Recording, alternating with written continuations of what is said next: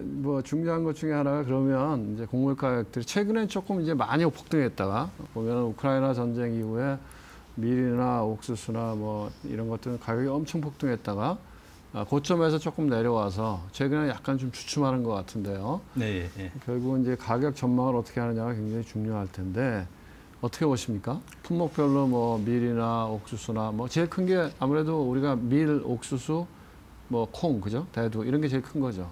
옥수수 같은 경우는 이제 사료용으로 상당히 많이 쓰이고 있고 네. 그다음에 우리가 가공용으로 쓰이고 있거든요. 네. 그다음에 밀 같은 경우도 제분용이랑 사료용으로 쓰고 있고 콩 같은 경우는 이제 우리가 기름을 짜기 위한 이제 착유용으로 많이 들어오는 부분인데 네. 지금 우리가 선물 시장에서 보게 되면은 곡물 가격 흐름을 보면은 네. 우리가 4월 달 일대 가장 많이 뛰었던 네. 부분이고 옥수수 같은 경우라든지 콩 같은 경우에는 9년 6개월, 7개월 만에 최고치를 찍었었고 밀이나 우리 대두유 콩기름 같은 경우에는 사상 최고가를 기록을 했었거든요. 이제 그만큼 많이 올랐다가 지금은 살짝 조정을 받아 좀 내려와 있는 상태인데 이런 부분에 계속해서 이제 국제 곡물 수급의 불안한 요인들이 계속해서 발생하고 있는 거죠. 인도네시아가 팜유 문제라든지 인도에서의 문제뿐만 아니라 주요 그러한 이제 어, 국가들 중에 식량에 대한 부분의 안보 문제, 그다음 식량 위기에 대한 자국의 그 식량 내수 시장 보호를 위해서 물가 안정을 위해서 빗장을 걸어 잠그는 그러한 이제 조치들이 많이 취해지고 있다 보니까 이제 그러한 요인들이 국제 곡물 시장 계속해서 영향을 미치는 거죠. 네. 그러니까 근데 이제 그 제일 그 어떻게 보면은 물론 이제 코로나 때문에 물류에서 문제가 생겼고 뭐 그런 것도 있지만은 어 우크라이나 러시아가 우크라이나를 침공하면서 또 그게 더저 확대 증폭된 거잖아요.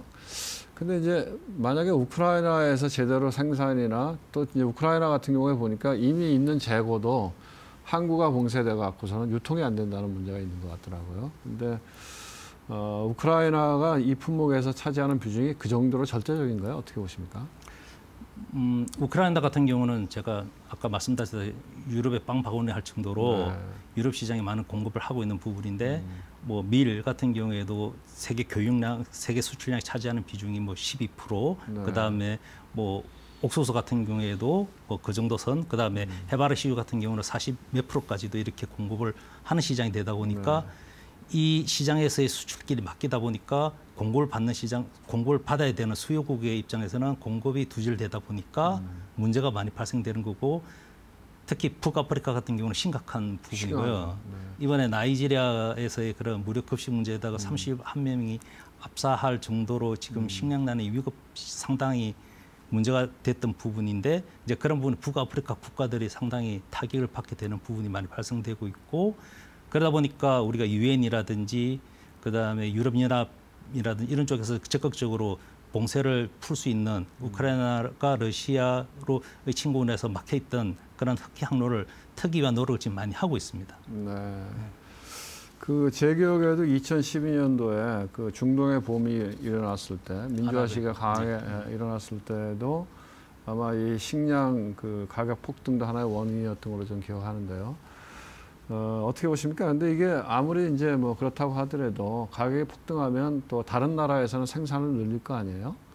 그래서 이 가격이 계속 이렇게 불안정하게 올라갈 것 같습니까? 아니면 뭐 한 몇 달 지나가면 어, 새로운 수확 시기가 지나고 나면 좀 안정화될 것 같습니까? 우크라이나 같은 경우가 이제 상당히 문제가 되는 부분이 네.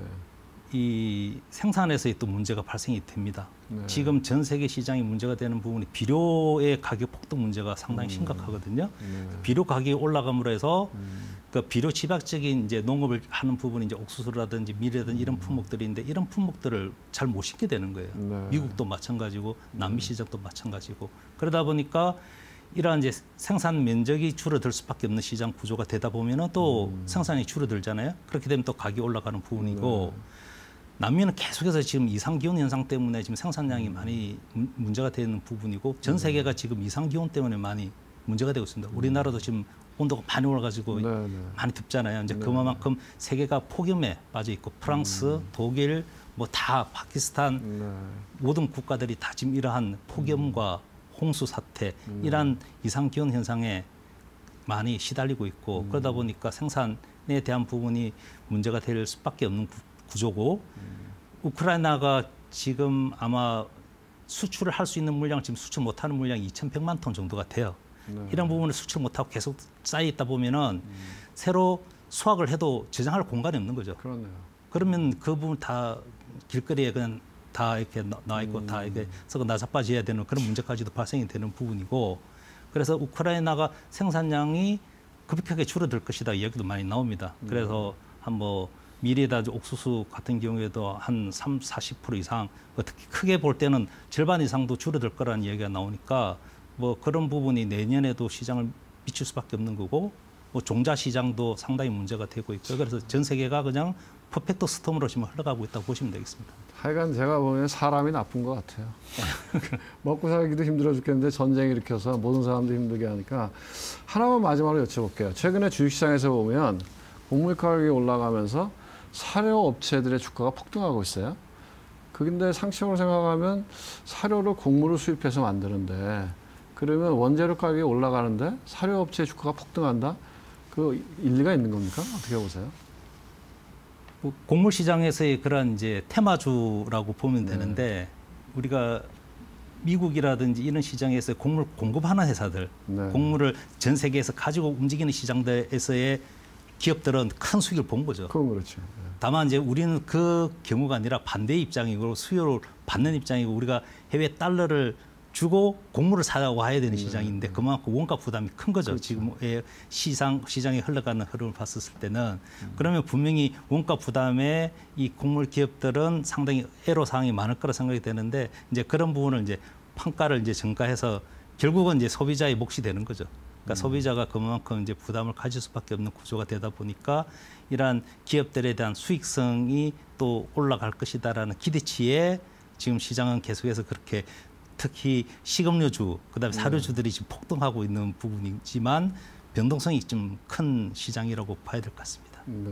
그게 그 펀더멘탈리 그 납득이 되는 이야기인가요?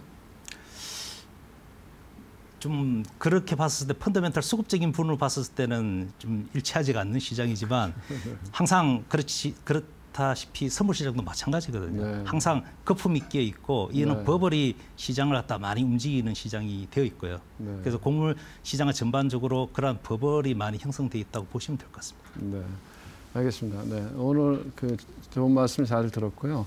어, 저희들이 이 곡물 시장을 이해하는데 도움이 많이 됐던 것 같습니다. 오늘 나와주셔서 고맙습니다. 네, 고맙습니다. 네, 오늘은 그 에그 스카우트의 어, 김민수 선임연구원님 모시고 곡물 시장 전반에 대한 이야기를 나눠봤습니다.